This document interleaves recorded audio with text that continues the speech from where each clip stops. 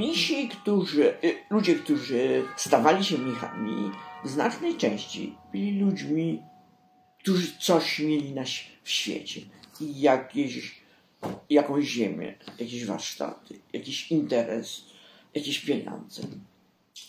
A mnisi egipscy, właściwie z wyjątkiem e, dwóch wielkich e, zgromadzeń, e, które były wyjątkiem i e, przeciętni nisi egipscy, nie, nie składali żadnych ślubów e, ubóstwa. Nie rezygnowali z, posiadanej, z posiadanych środków. No i pokusa była, była bardzo wielka, żeby z tych środków korzystać. Za te środki budowali swoje eremy, najmowali e.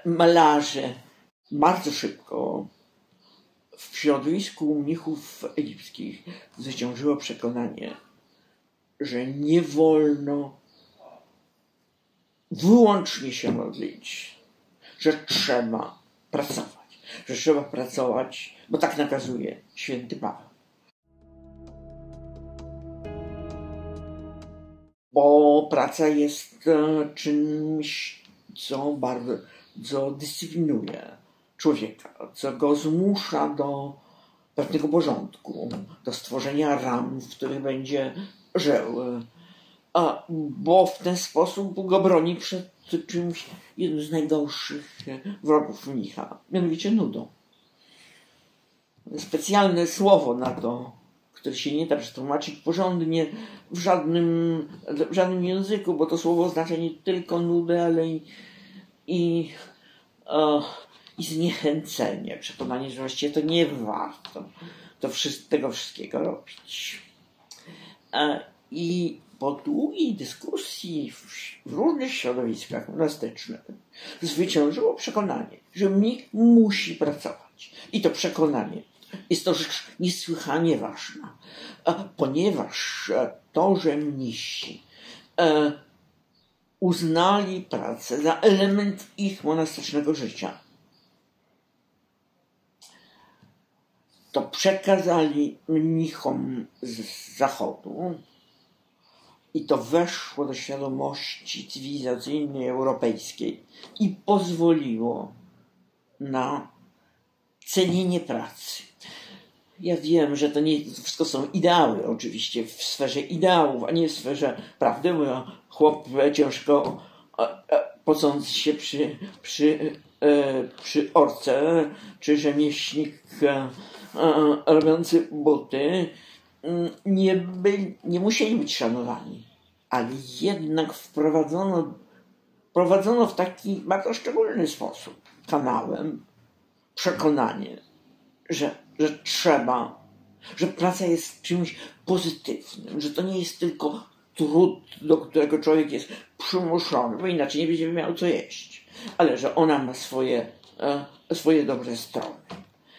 Monastycyzm innych regionów świata śródziemnego przejął to egipskie przekonanie, najczęściej powołując się na, na, na wzorzec egipski, który był bardzo silnie wyczuwany. To prawda, że w, w, w środowiskach monastycznych pojawiały się grupy takie, które były przekonane, że trzeba się modlić nieustannie, że nie można, że praca jest czymś, co zabiera czas, odciąga człowieka od modlitwy.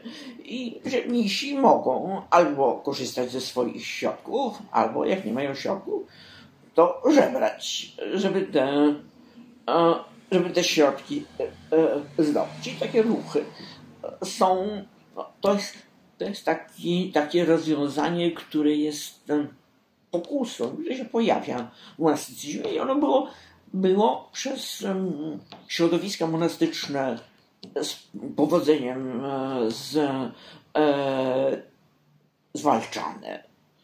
E, I z tego punktu widzenia, to znaczy owo, owo szacunek dla pracy jest czymś, co myśmy dostali od mnichów. My dzisiaj jesteśmy przekonani, że my musimy, że musimy pracować nie tylko dlatego, że, że musimy zrobić, ale to jest dobre, my coś tworzymy, my coś powołujemy do życia. Taki człowiek, który nic nie robi, jest człowiekiem chorym e, e, w naszej świadomości.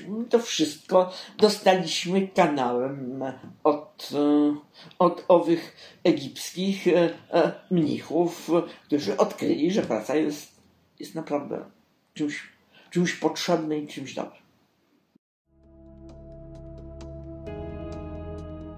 Owa praca mogła, przyjmowała różne, różne e, formy.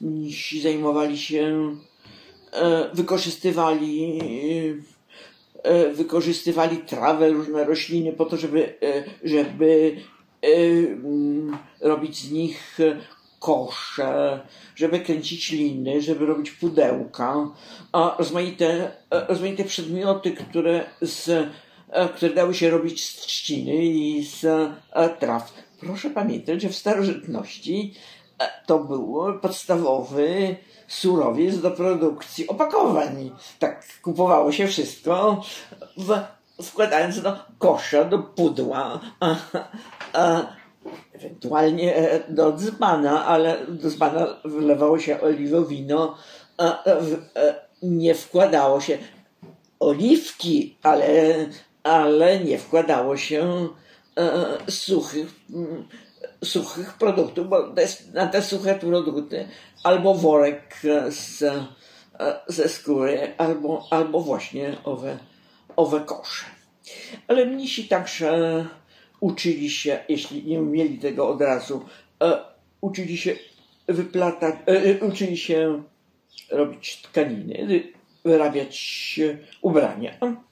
I bardzo wielu elementów my znajdujemy ślady po instalacji warsztatu tkackiego. Niżsi piśmienni, którzy nauczyli się dobrze pisać, nie tylko czytać i napisać ostrakon, poczekaj na mnie, jak wrócę od sąsiada, e, ale potrafili pisać ładnie, przepisywali księgi, przede wszystkim Biblię. E, przede wszystkim na potrzeby środowiska monastycznego, ale nie tylko. E, zdobywając w ten sposób środki do, do życia. Robili okładki do tych, do tych kodeksów, które przepisywali.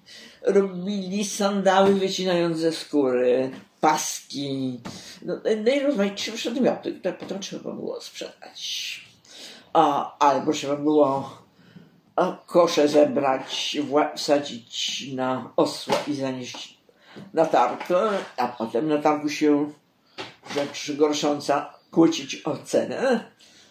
A, a doktryna estetyczna mówiła, zaproponuj pierwszą cenę i nie kłóć się więcej. To najlepiej. tak, nie. Ale w starożytności oczywiście negocjowało się w ramach.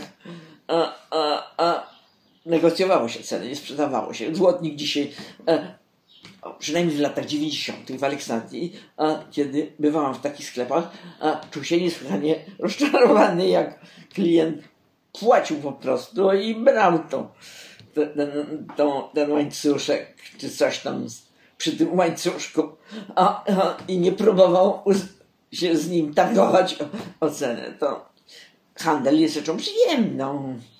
A nie musi być, nie musi być nudny.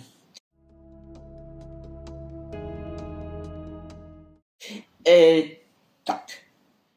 Jeśli starali się, e, e gdyby wypracowali sobie na zasadzie takiego dogadywania się i obyczaju e, system modlitw e, w różnych porach dnia, zaczynając od świtu, e, aż po późny, aż po, aż po późny wieczór. Poza tym starali się ci gorliwi, kiedy pracowali, a jeśli praca była nudna, na przykład zaplatanie koszy, to nie jest rzecz wymagająca angażowania mózgu, to starali się zdawać psalm, przede wszystkim psalmy, ponieważ do Boga trzeba mówić słowami, które Bóg zapisał w Biblii, to znaczy najlepiej psalmami. Ale można i inaczej się do Niego modlić. I wtedy można recytować Pismo Święte, którego się uczyli wszyscy na pamięć. Im więcej, tym lepiej. Tacy, którzy nauczyli się Starego i Nowego Testamentu, z dumą o nich pisano, że właśnie umieli Stary i Nowy Testament tam na pamięć. Ale wystarczyło trochę umieć i, i to e, recytować. Starali się ograniczać jedzenie. Byli tacy, którzy uważali, że najlepiej jest jeść raz dziennie, to zaraz po zachodzie słońca. Bo wtedy diabły udają się do szatana zdać sprawę z tego, co im się udało zrobić. I nikt może bezpiecznie jeść. No nie wszyscy mi się tak myśleli, ale na ogół zasada była taka, że gdzieś, gdzieś późno, popołudniem, późnym popołudniem rzeczywiście spożywali ten posiłek i starali się pić możliwie mało pić. No ale życie jest takie, jakie jest. I to jedzenie tego jowego też należało. Natomiast misi wszyscy e, okresowo pościli we środę, w piątki. To były dnie, w których mogli zjeść kawałek chleba z solą i popić to wodą, ale nic więcej. Albo najlepiej, jeśli w ogóle nic nie jedli. Potem w czasie Wielkiego Postu, w tygodniu, Wielkim Tygodniu, no dobrze, jeżeli, w ogóle niczego nie jedli, albo, albo przechodzi na ten reżim taki bardzo już e, e, surowy. Innymi słowy, zdarzało się potem, że kiedy, że kiedy kończył się ten, ten okres, tam nie wolno było pościć w niedzielę. W niedzielę należało się cieszyć. W niedzielę należało zjeść porządnie posiłek. I było dobrze udawać się do kościoła wieczorem w sobotę, modlić się w nocy razem z innymi, a rano przyjąć komunię świętą, po czym razem zjeść wspólny posiłek. To, to, była, to był ten ideał, to, to było dobrze. I e, nie wolno było, nie wolno było się pościć e, wtedy. Się mówi, że, że pustynia albo kogoś zabijała, że to życie, tak powiem, monastyczne, albo że kogoś zabijało szybko, albo ludzie żyli dłużej. Tak naprawdę nie istnieje odpowiedź na to pytanie. Na jedna rzecz jest pewna, że życie monastyczne wybierali najczęściej ludzie dojrzali. Albo, albo tacy, którzy się zbliżali już do końca swojego życia. Naprawdę. oczywiście zdarzało się, że, że, że ktoś był bardzo religijny i, i wstępował do klasztoru, czy stawał się eremitą, mając e, kilkanaście lat, ale no, w przyzwoitych klasztorach panowała zasada, żeby nie przyjmować yy, lu młodych ludzi, którzy jeszcze nie mają brody. Bana się najprościej posłowice czegoś, o czym my dobrze wiemy i o czym mnisi starożytni mówili. Głośno, bez wstydu, to znaczy stosunków homoseksualnych, które które się zdarzały, które zwalczano bardzo energicznie, ale które się zdarzały. I to traktowano jako coś, czemu trzeba przeciwdziałać i dlatego nie chciano. Ta nuda, której nie chciałam przetłumaczyć na język polski, e, nie chciałam dać terminu właściwego, ona, ona po, e, po grecku nazywa się akidia i ona właśnie oznacza takie, takie zniechęcenie. I mamy przepiękny opis, jak to, jak to mnicha najczęściej napada gdzieś tak koło, koło 12, kiedy jest gorąco. I kiedy, kiedy on już jest zmęczony tym i pracą, i modleniem się, i kiedy naprawdę zaczyna myśleć o tym, że będzie dobrze, kiedy się zrobi ciepło. Nisi warunki życia były, były naprawdę bardzo trudne.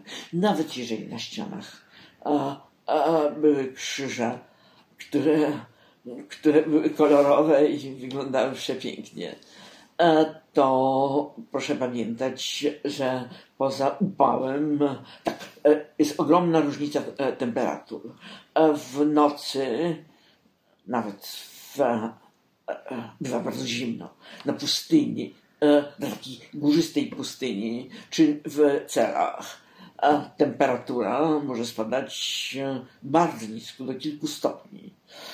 Przeżyłam to przyjechawszy no, do takiego do takiego centrum na, na wysokości Asuan, ale w oazach, a, gdzie a, dali mi, wsadzili mnie do namiotu a, i dali mi E, koca, a ja dygotałam z zimna, podczas kiedy w ciągu dnia była temperatura do 40 stopni na, na, na stanowisku, a w zimie była bardzo duża. E, e, wobec tego w Naklun, które jest takim miejscem, gdzie dobrze widać, jak misi żyją, robili sobie nieduże te sypialnie, które miały maty, zasłaniali wejście matami. W takiej niedużej bardzo sypialni człowiek sam swoim ciałem troszkę się broni przed, przed zimnem. Chodzili boso. Nie myli się. Zdarzało się, że i chodzili w sandałach, ale tak normalnie, że tak powiem, to tak było. Nie, nie jest prawdą, że mnisi uciekali na, a, do klasztorów czy do eremów, dlatego że to było życie łatwiejsze. Nie było życia łatwiejsze. To było życie o wiele bardziej trudne. Ale życie, które miało dać człowiekowi nadzieję no, życie wieczne.